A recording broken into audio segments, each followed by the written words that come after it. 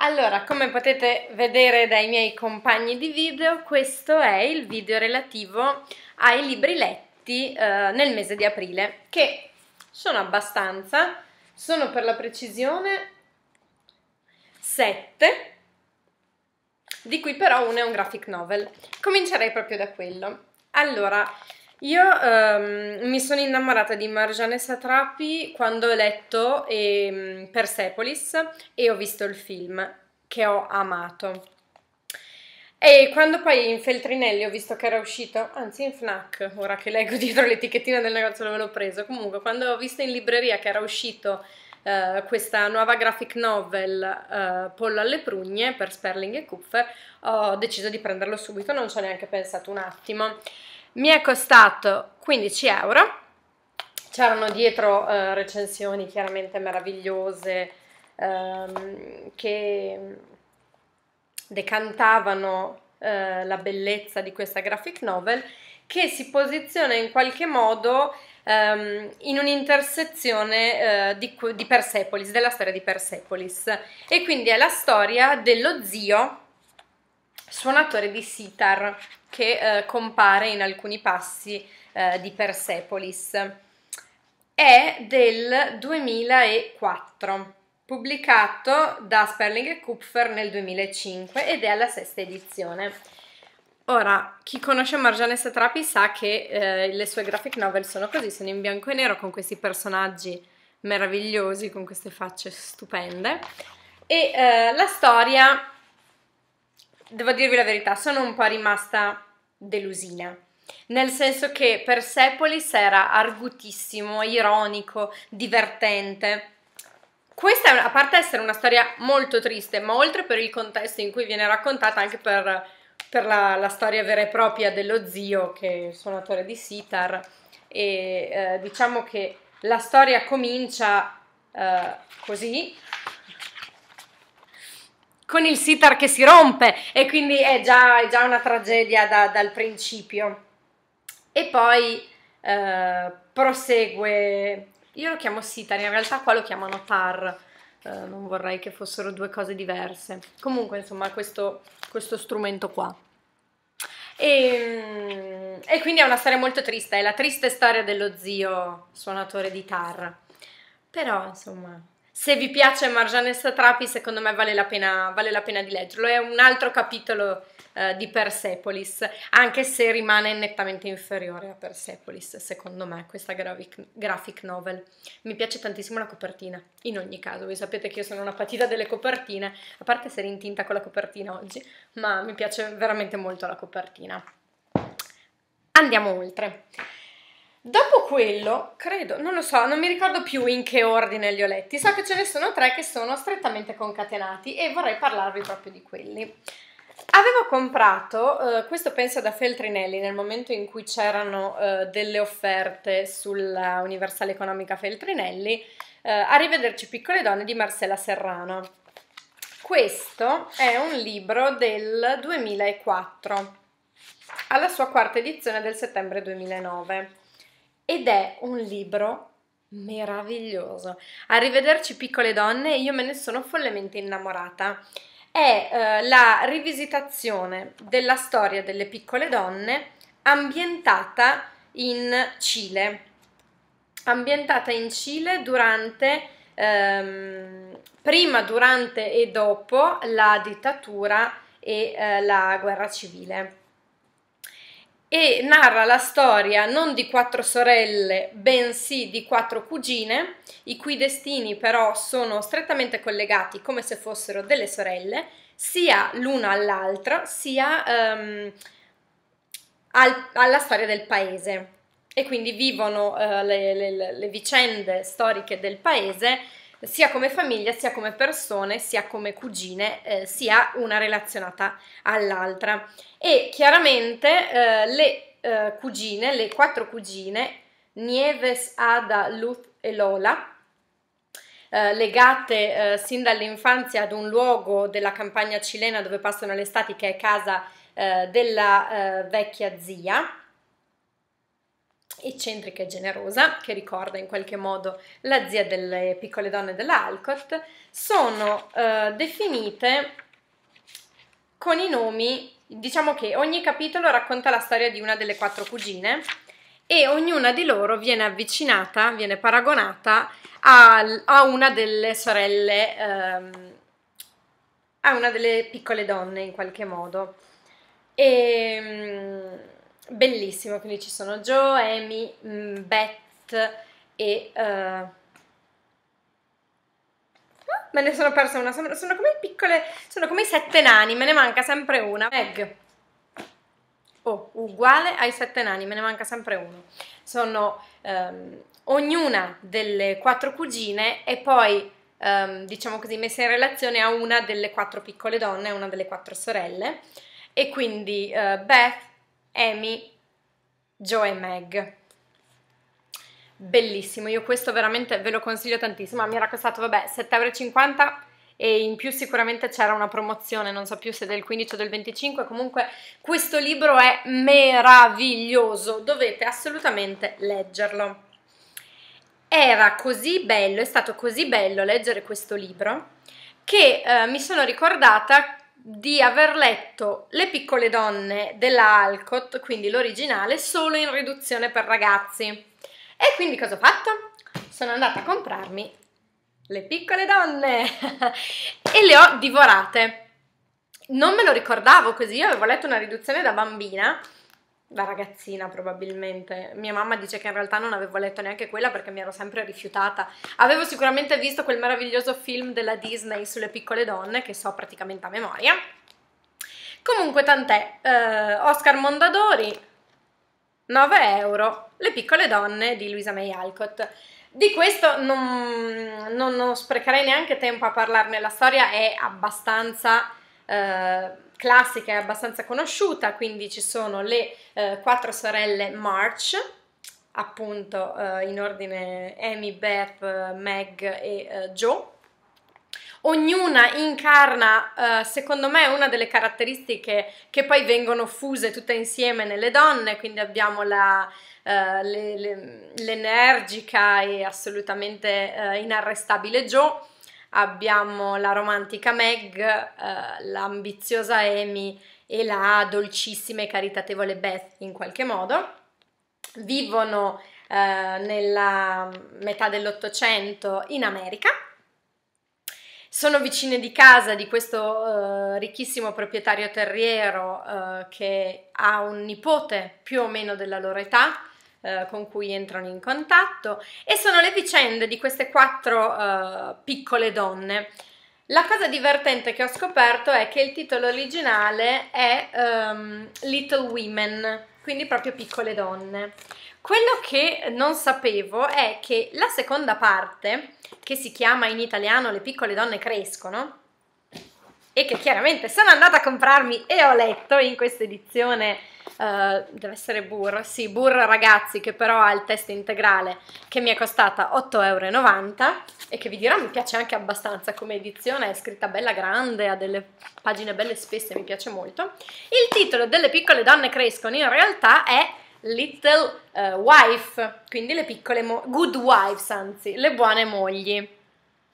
Quindi c'è proprio, già qui si spiega tutto il passaggio tra le piccole donne e le piccole donne crescono. Le piccole donne crescono e iniziano a uh, sposarsi, iniziano ad avere delle storie d'amore, la loro vita inizia a prendere la piega uh, non più adolescenziale ma di vere e proprie donne, benché siano molto molto giovani. Però siamo anche alla metà dell'Ottocento, quindi bisogna uh, contestualizzare il racconto. Il film, l'omonimo, il celeberrimo film della Disney, in realtà è una sintesi di questi due insieme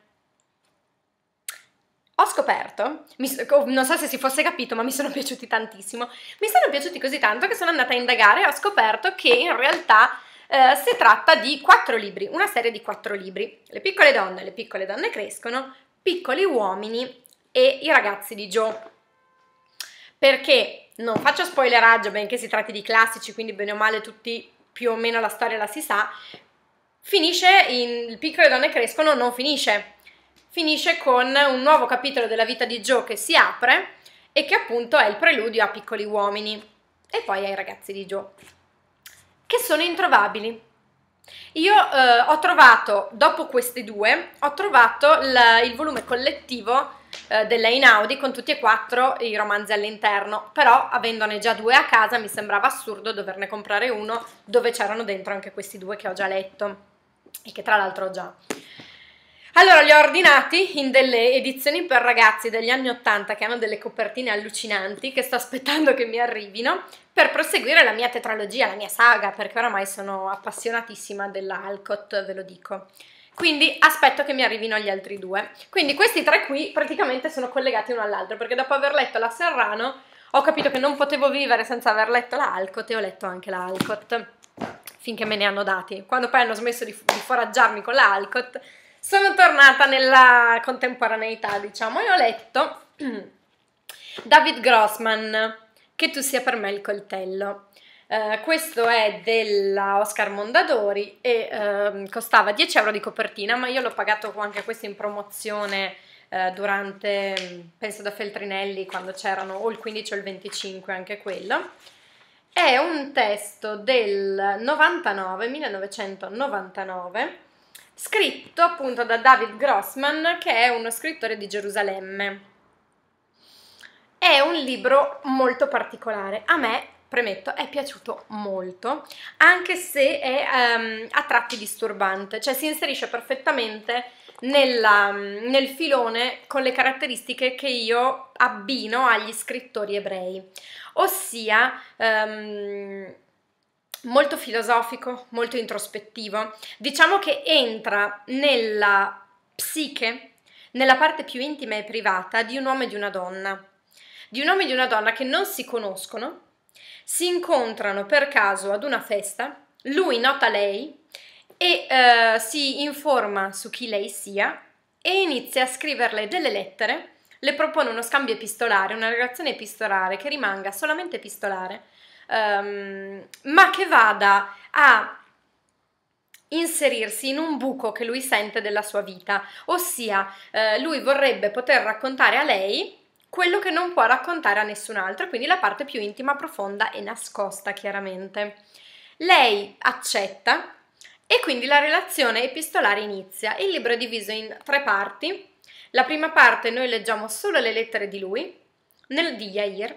Nella seconda noi leggiamo uh, delle, degli scritti di Miriam, quindi di lei, e poi c'è una parte conclusiva.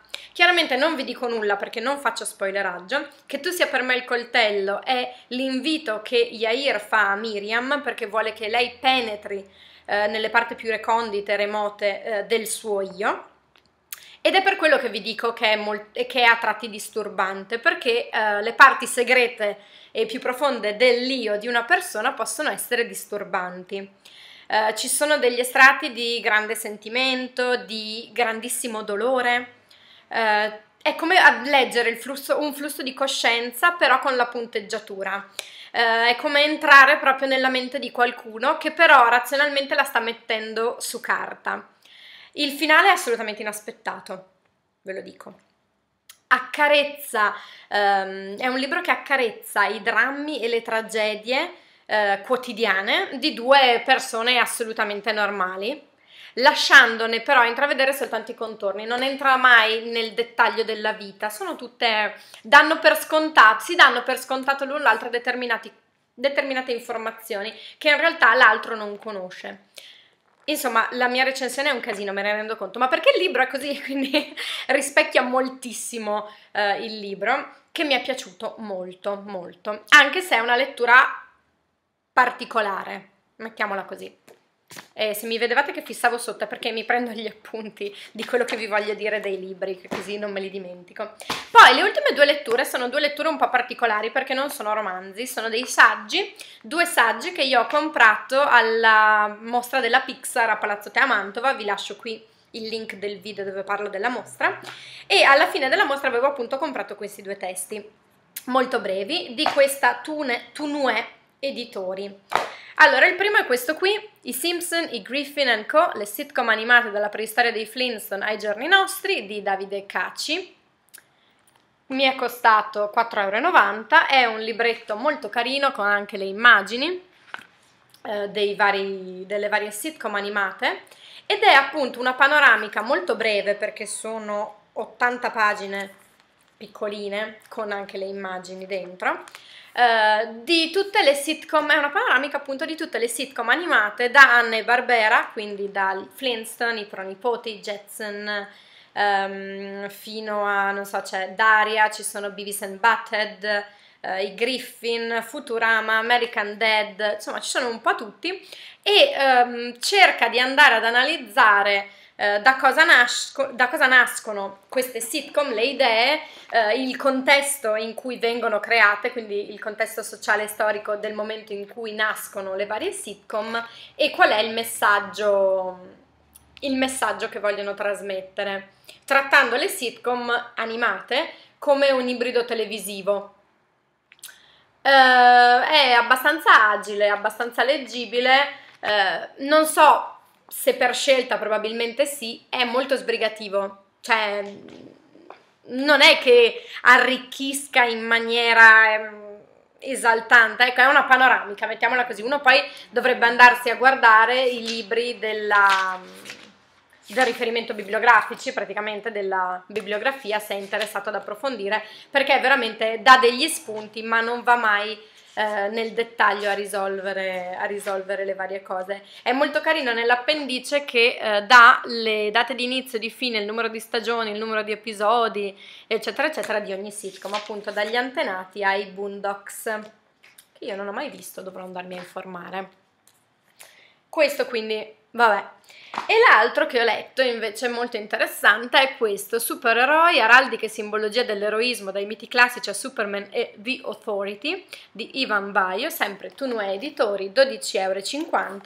E questo è un saggio molto molto molto interessante, eh, dove si analizzano non tanto ma anche le storie dei supereroi, le figure dei supereroi, ma soprattutto la simbologia eh, che sta dietro i loro simboli appunto, eh, andando a parlare di archetipi, andando a parlare di labirinto, frecce, facendo dei paragoni anche con la storia, quindi con la svastica, eh, con i simboli di tutti i giorni, eh, con i simboli delle mm, marche, dei brand di tutti i giorni e poi appunto analizzano, so questo è quello di Batman, i vari simboli, li relaziona al messaggio che il supereroe vuole mandare, alla sua storia, come si inserisce eh, all'interno della società come ruolo, è assolutamente complesso.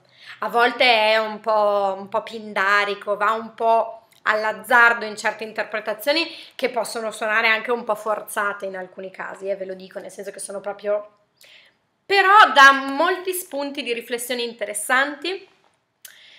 Chiaramente essendo un saggio complesso, molto dettagliato e ehm, ha uno stile un po' poco scorrevole, al contrario, a volte risulta troppo sintetico, dando per scontate molte informazioni che, che, che a volte compromettono anche, almeno che hanno compromesso a me, eh, di seguire tutto il ragionamento fino in fondo. Eh, quindi diciamo che questo è un ni, nel senso che ci sono degli spunti interessantissimi, mi è piaciuto, mi è interessato molto andare a scoprire ehm, la questione del labirinto, la questione delle frecce, insomma tutta l'araldica che c'è dietro, anche se ehm, l'ho trovato a volte difficile da capire, a volte non c'era proprio da capire, nel senso che dava per scontato delle cose eh, che io non sapevo, mentre invece questo è un no, non mi è piaciuto, no, non mi è piaciuto.